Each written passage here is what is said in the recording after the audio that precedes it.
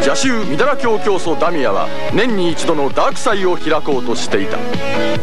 美少女100人の処女を奪い銀河系宇宙を征服するパワーを得るのだ。魔の手が地球に伸び次々と美少女が襲われる。100人目の犠牲者は誰か。地球を救うのは誰か。リトル・マーメイドシリーズステージ2テレパシスト IQ サイコ。ご期待ください。